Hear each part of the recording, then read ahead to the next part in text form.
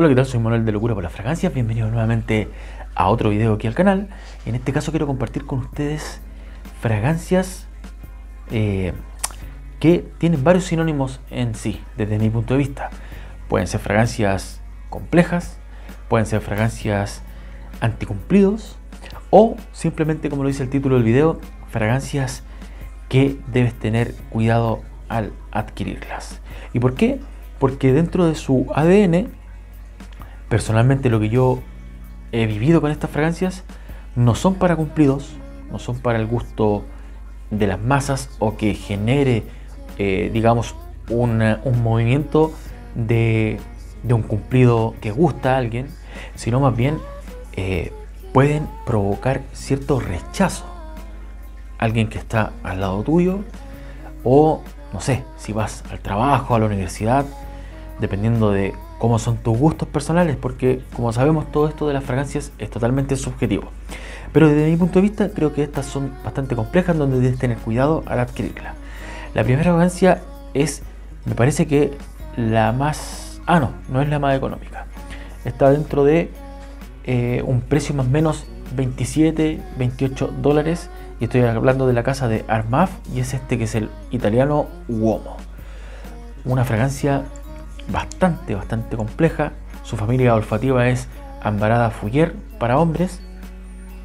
Y claramente es, para, es bastante masculina. Es bastante masculina. Es una fragancia que cuando la, percibo eh, me viene a, a mi mente un color grisáceo pálido por toda su estructura y composición. Acá tenemos una parte floral, violeta, lavanda, que se conjugan bastante bien, que le dan ese toque floral, pero un floral para nada femenino, sino bastante sucio, terroso, y que lo envuelve esta parte pálida de almizcle. El almizcle le viene a dar esa parte apolvada a la fragancia y empieza a relucir el lábdano y la pimienta, que viene a darle, el lábdano le viene a dar esta parte terrosa aún mucho más y algo sucia y la pimienta que otorga cierto matiz picante a la composición. Acá esta fragancia no declara la nota de cuero, pero dentro de ella es percibir un cuero áspero, seco, bastante varonil.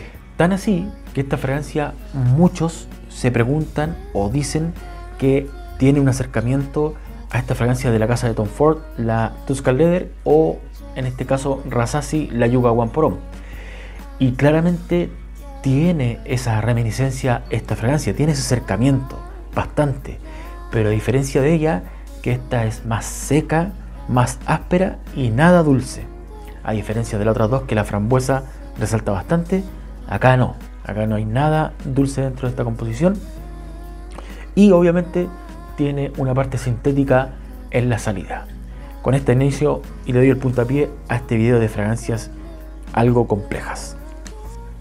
La siguiente fragancia es creada por Rodrigo Flores y es John Barbatos Dark Rebel Rider. Un cuero bastante sucio y oscuro, bastante rockero, por decirlo de alguna forma, y que en el fondo llega a tener unos matices algo ligeramente dulce, pero bastante en el fondo.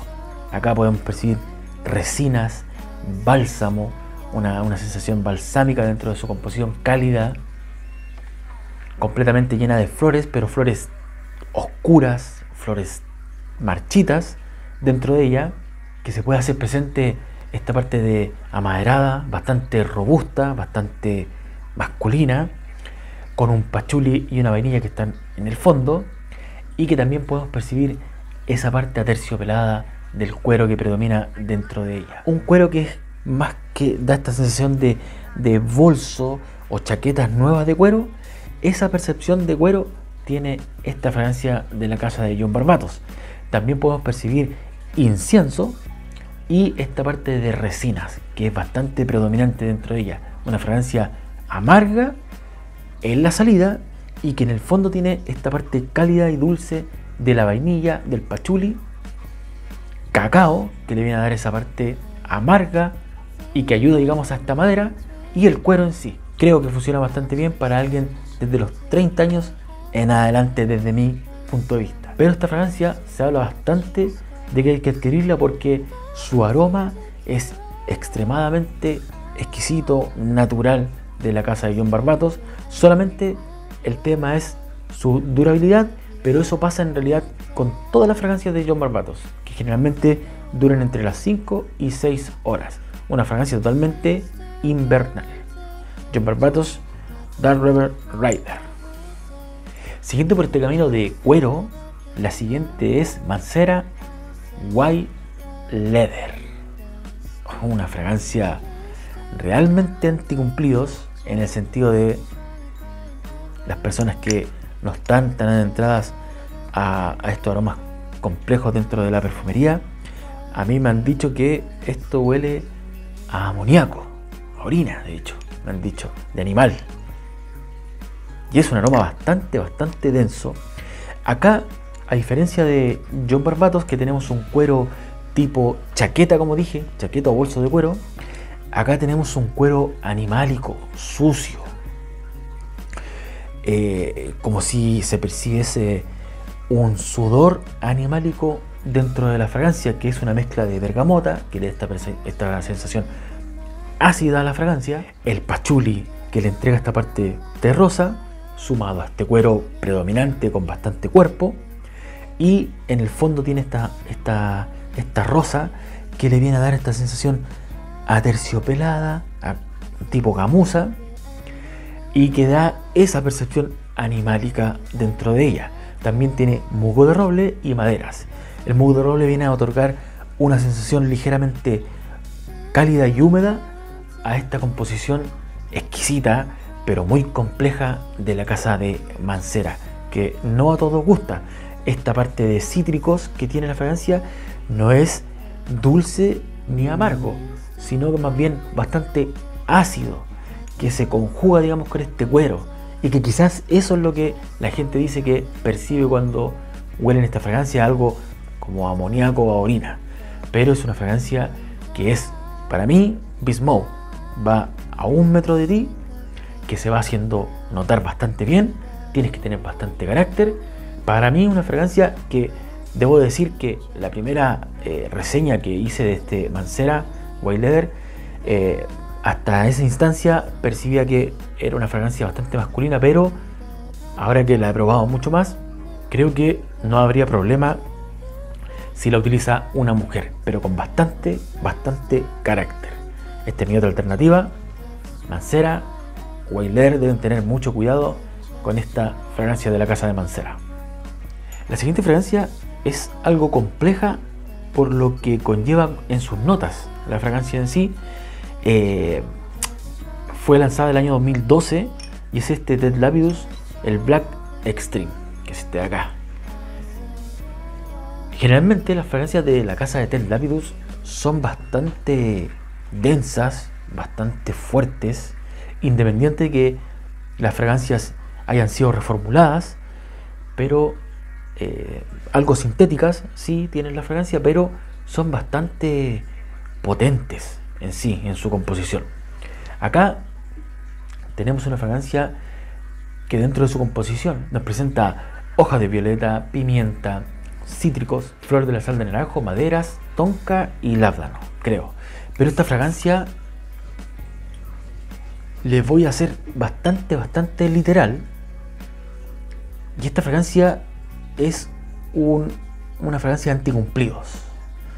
En el sentido de que las personas que han olido esta fragancia cuando yo la he utilizado, incluso la asemejan, incluso la asemejan a estos jugos macerados de aceitunas, de aceitunas negras. Me han dicho que esta fragancia huele a eso, imagínense. A mí, desde mi punto de vista, aquí percibo algo terroso, sucio, lábdano, que es bastante predominante dentro de esta fragancia, con hojas de violeta, una violeta tétrica, oscura, gótica, dark, eso es lo que a mí se me viene a la mente, que dentro de su composición me da una sensación de incienso y un incienso oscuro, un incienso dark, como lo mencioné. que a pesar de no menciona una nota de incienso dentro de su composición, pero esta mezcla de notas amaderadas, pimienta, violeta y esta parte del lábano le dan esa sensación desde mi punto de vista. Entonces es una fragancia muy, muy compleja. Eh, declara la nota de cítricos y flor de la sal de naranjo, pero acá no hay algo brillante dentro de su composición. Quizás el cítrico se puede percibir si tú trabajas bastante esta fragancia probándola. Pero yo a una primera percepción es suciedad, es algo sucio, oscuro, flores tétricas, incienso. Eso es lo que yo percibo dentro de este Ted Lapidus Black Extreme. Y como les mencioné, mucha gente lo asocia a ese jugo de aceituna, literalmente. Así que con ella debes tener bastante cuidado. Es una fragancia que no, no sobrepasa los 18 dólares, estos 100 ml, pero muy, muy, muy compleja. Ted Lapidus Black Extreme. Y para finalizar, uno de los ámbares que me encanta dentro de mi colección, y estoy hablando de El corazón del desierto. Esta fragancia a mí me encanta, me gusta mucho este ámbar seco, áspero, desértico que te lleva esta fragancia en sí, con unos toques florales, lavanda, geranio, eh, petit grain, geranio que le da esa sensación algo mentolada, pero un mentol ambarado, porque este ámbar, valga la redundancia, es bastante predominante, con mucho carácter, que se va fusionando el cuero, que se va fusionando las maderas, que la hacen totalmente exquisita, incluso algo resinoso dentro de su composición. Y esta parte ligeramente desértica y especiada, otorgadas por comino, otorgadas también por cilantro, dan esa sensación de especias de un mercado eh, especiado, desértico de los Emiratos, por decirlo de alguna forma. O eso me lleva a mí cuando puedo oler esta fragancia. También tiene un vetiver, pero es un vetiver bastante seco y el musgo de roble le viene a dar esa tonalidad bastante, bastante madura. No es una fragancia para alguien de 25, 28 años en adelante, no. Yo creo que mucho más. 35 de hecho, yo daría eh, como dato para quien pueda utilizar esta fragancia, a pesar que obviamente es solamente mi percepción. Pero es una fragancia que dura mucho, no es un beast mode, en la salida es algo ruidosa, pero baja rápidamente esa intensidad, pero dura muchas horas cuando te aplicas esta fragancia de 50 ml, su precio es un tanto alto, por ello debes primero testearla y es otra fragancia que debes tener mucho cuidado al adquirirla.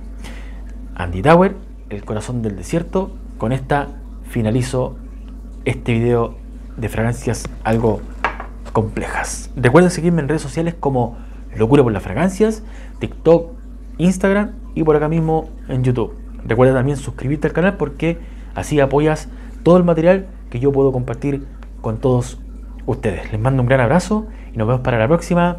Adiós amigos.